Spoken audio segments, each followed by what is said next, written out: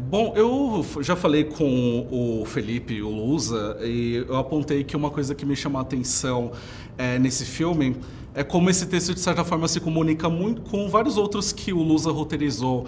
E disse isso no sentido de que são narrativas que ele traz personagens, de certa forma, sobrevivem a partir de uma certa malícia, é, ardilosidade.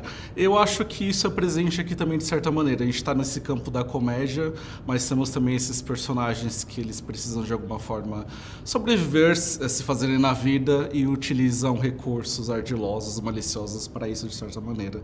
Eu queria é, perguntar para vocês é, se vocês percebem essas características características, sobretudo para você, Marcelo, uma vez que esse argumento também é dessa autoria. Não? Olha, sim, eu vejo essa questão e o que a gente queria era narrar uma situação tipicamente brasileira. Uhum. É, a maioria dos brasileiros não está na elite, né, não pertence à, à elite do país, então o brasileiro é um lutador, né, é, é. um guerreiro, é um sobrevivente, é alguém que está na berlinda, é alguém que se der mole e ficar esperando algo cair do céu. Não vai cair. Vai ser muito complicado. E por isso, muitas vezes, que agarra oportunidades e isso. que depois vai ver que de repente não era uma coisa muito legal, mas ele não, não pode se dar o luxo de não agarrar uma oportunidade. Exatamente. Então a gente tem essa mulher, a Jéssica é um motor incrível, né? uma evangélica decidida, forte, com voz que é diferente do estereótipo que nós temos do evangélico médio, né? Então. Sim. E, e o Rickson é um cara talentosíssimo e tímido, com certa dificuldade social, ajudado por ela. Uhum. E aí os dois conseguem, né? Ela consegue empurrar ele para cima e ele tem essa trajetória do herói aí, essa coisa de subir, subir, subir, mas é claro que no Brasil você vai subir, subir, subir, alguém vai te dar um tapa para baixo, né? Uhum. Obviamente, rola o momento Davi e Golias. Então, era para narrar uma situação universal dos brasileiros quase ter que estar tá caindo do abismo, tem que segurar num galho, senão uhum. você vai lá embaixo. Né? Então, é, é, também tratar a, a, o, a, o fenômeno evangélico como algo natural na nossa sociedade, como algo intrínseco, algo, algo que faz sentido, porque a elite enxerga os evangélicos como algo não compreende o fenômeno é, de forma alguma, na verdade não consegue é isso, entender. É não, não acessar, não entende, coloca todo mundo num, numa mesma bolha, no mesmo lugar e que é tudo daquela maneira, sabe? Que, que já é uma, uma maneira de ver assim preconceituosa, do tipo, isso comigo não, não isso tem é, a ver. Como é que pode essas pessoas acreditarem é, nisso?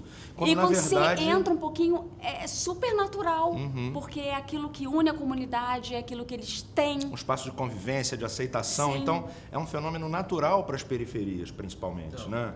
Então, acho que a gente não tem isso, a sociedade não enxerga isso, a gente está com uma visão pétrea muito perigosa, cada vez mais o meio evangélico se afastando. Sim. E que são pessoas comuns, não é aquele estereótipo do evangélico que a gente fica com essa sensação e tal.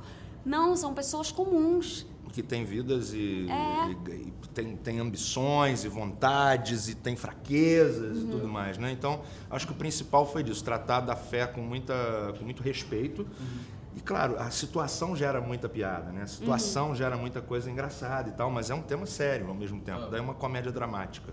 É, foi algo que eu pontuei conversando com o Luz e o Felipe, que de certa forma a ascensão da, da comunidade evangélica se dá justamente porque foi talvez uma das primeiras que é, penetrou em periferias, onde, é. enfim, é, encontrou ali né, uma nova é, legião de devotos. E algo que eu queria dizer, que eu acho que sintetiza muito também esse filme, é uma frase presente no roteiro que é: Não existe igreja sem dor.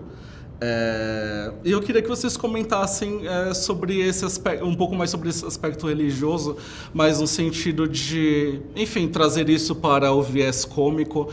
É, às vezes dá a sensação de que se está se mexendo em vespeiro. Como vocês é, refletem sobre isso? Até porque esse filme foi produzido em 2018 e acho que tivemos eventos recentes, de certa forma, também é, fez com que muitas lideranças religiosas, não somente evangélicas, fossem desmascaradas digamos assim. Mas Primeiro, é, eu acho é... importante falar que é super corajoso esse argumento do Marcelo, o roteiro do Lusa. É, eu já cheguei né, com, com, o projeto pronto, com o roteiro pronto, e é muito corajoso eles falarem sobre esse tema e falar do que é importante sobre esse tema. Não é só, não é graça, não é só uma piada. Queremos contar uma história, queremos fazer uma crítica a algo que acontece nesse sistema e que a maioria, na verdade, do, dos evangélicos, dos religiosos, nem concordam com aquilo. Então, muito, muito corajoso da É, parte deles. foi- realmente, a gente sabia que é um tema tabu, mas o tema tabu é para ser é exatamente para isso, para ser quebrado. O tabu Uhum. tá ali para alguém quebrar.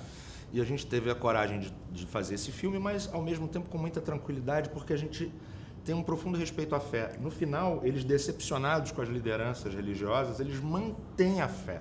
A Sim. fé deles não se abala. O que A se fé dela abala- é genuína, inclusive, Genuína né? não se abala, o que se abala é a confiança nos homens. Então a gente traz uma crítica aos líderes religiosos, à estrutura hierárquica da religião, mas jamais a fé. A fé, ela passa o filme todo intacta. É, e ela não tem nem como ser questionada. Então, é, eu estou muito seguro ao mesmo tempo com aonde o filme bate, aonde o filme faz graça. Estou muito seguro disso, sabe? Eu acho que é um filme respeitoso e que os próprios evangélicos que viram o filme numa Sim. sessão especial e tal gostaram muito, porque eles têm entre eles mesmos divergências, Uhum. correntes diferentes. É, acusações e pessoas que, que todo mundo não confia muito. E se Então, sentiram retratados como pessoas normais, não estereotipadas, que também têm o corre, precisam fazer o corre da sua vida, também não concordam com tudo que acontece ali, sabe? É, desmistificar mesmo, colocar num lugar mais humano. É, e tomara que abra alguma discussão. Eu acho que se tiver É. algum- pequenas discussões, a gente já vai ter cumprido o nosso papel. E também de trazer comediantes para o drama. Eu acho uma, uma, uma, uma curva importante também. Ah, sem dúvidas. Bom, obrigado, Marcelo Letícia, pela disponibilidade. Sucesso com o lançamento do filme. Obrigada Obrigado, a você por ter valeu. Obrigado. Obrigada. Obrigado.